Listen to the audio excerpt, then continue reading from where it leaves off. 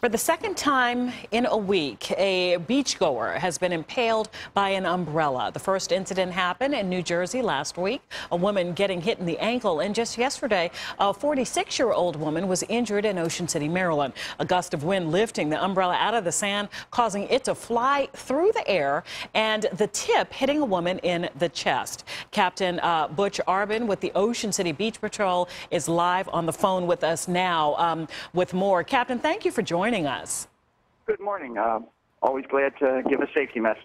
My goodness, though, this seems so horrifying. Can you tell us exactly what happened and, and, and how widespread this threat is? Because this is the second time we've seen it, though not in Ocean City um, beaches, but in, in the area, New Jersey Beach as well. How, how real is the threat? And tell us what happened here locally.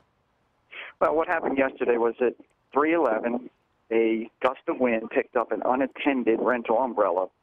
The umbrella blew uh, from the edge of the water west and hit a woman that was sitting in a chair and pierced her skin. Now, when you say piercing, when I say impaled, uh, to me that's going all the way through. Exactly what was the extent of her injuries? Well, they're non life threatening. Um, she was taken to a local um, regional trauma center. Uh, I haven't heard any update today, but it was not that serious of a wound, um, although it will need medical attention. The, it did not actually pierce into the ribs or anything like that. So when they talk about impaled, it gives the wrong idea, and that's not the way it was. Okay. Okay, thank you for that clarification. And if, if you can tell us, and I won't ask you to comment on the other um, Im impaling in uh, New Jersey, but what is the problem here? Is it just as simple as putting those umbrellas deeper in, into the sand? Is there an anchoring mechanism that um, was missing with this umbrella?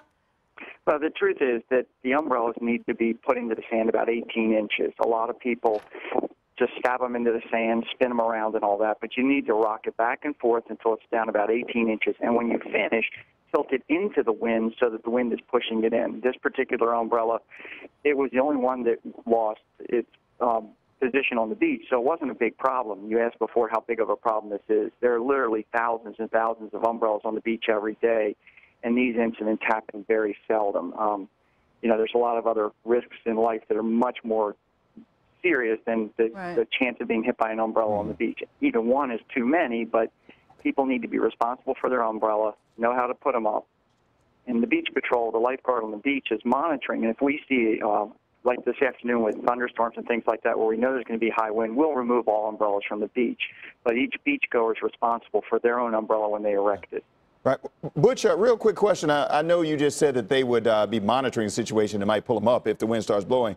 Is it possible that any of the beach patrol workers would come and help someone secure that umbrella in, in no, into we, the ground? We really don't help them put them in. We will instruct them how to do it. Um, these a lot of the umbrellas